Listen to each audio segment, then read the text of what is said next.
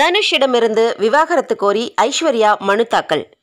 நடிகர் தனுஷும் அவரது மனைவி ஐஸ்வர்யாவும் பிரிந்து செல்வதாக செய்திகள் வெளியாகி நீண்ட நாட்களாகிறது.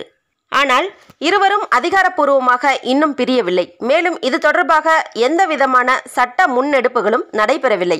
இந்நிலையில் தனுஷிடமிருந்து விவாகரத்து கோரி ஐஸ்வர்யா ரஜினிகாந்த் சென்னை சிவில் நீதிமன்றத்தில் வழக்கு தொடர்ந்துள்ளதாக தற்போது புதிய தகவல்கள் வெளியாகியுள்ளது கடந்த சிவராத்திரி தினத்தன்று போயஸ் கார்டனில் தனுஷ் கட்டியுள்ள புதிய வீட்டை தனது பெற்றோருக்கு கனவு பரிசாக கொடுத்தது பெரும் செய்தியாக அமைந்தது.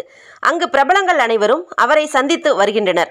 இந்த வீட்டின் மொத்த மதிப்பு ரூபாய் நூற்றி ஐம்பது கோடியாகும். ஆனால் இதுவரை தனுஷை ரஜினி குடும்பத்தினர் யாரும் சந்திக்கவில்லை. மேலும் வீட்டு கிரகப்பிரவேசத்தில் அவருடைய மகன்களும் பங்கேற்கவில்லை. தனுஷ் தனது பெற்றோருக்காக கட்டிய வீடு மாமனார் ரஜினிகாந்தின் வீட்டுக்கு பக்கத்தில் தான் உள்ளது. தனுஷ் தனது மனைவி ஐஸ்வர்யாவை பிரிந்து ஓராண்டுக்கு மேல் ஆகிறது இருவரும் பிரிந்து செல்வதாக சமூக வலைதளங்கள் மூலம் ஏற்கனவே தெரிவித்திருந்தனர். ஆனால் அவர்கள் பிரிவதற்கான சட்டப்பூர்வ நடவடிக்கைகளை இன்னும் எடுக்கவில்லை என்று குடும்ப வட்டாரங்கள் தெரிவித்தன. அவர்கள் இருவரும் பிரிவதில் தனுஷ் மற்றும் ஐஸ்வர்யாவின் பெற்றோர்கள் ஆர்வம் காட்டவில்லை. மேலும் அவர்களை ஒன்றிணைக்க பல்வேறு முயற்சிகள் மேற்கொள்ளப்பட்டன. இந்த விவகாரத்தில் ரஜினிகாந்தே நேரடியாக தலையிட்டு இருவருக்கும் இடையில் பேச்சுவார்த்தை நடத்தினார். தனுஷின் புதிய வீடு ரஜினியின் வீட்டிற்கு அருகில் இருப்பதாகவும் இதுவே இருவரும் இணைவதற்கான அறிகுறி என்றும் ஊடகங்கள் செய்தி வெளியிட்டன. அண்டை வீட்டாராக மாறுவதால் இரு குடும்பங்களும் நெருக்கமாகிவிடும் என்று ரஜினி நம்புவதாக கூறப்பட்டது. அதேபோன்று பிரிவினை அறிவிப்புக்கு பிறகு தனுஷும் ஐஸ்வர்யாவும் பொது இடங்களில் ஒன்றாக காணப்பட்டனர். இருவரும் தங்கள் குழந்தைகளின் பள்ளி விஷயங்களுக்கு ஒன்றாக வருவார்கள்.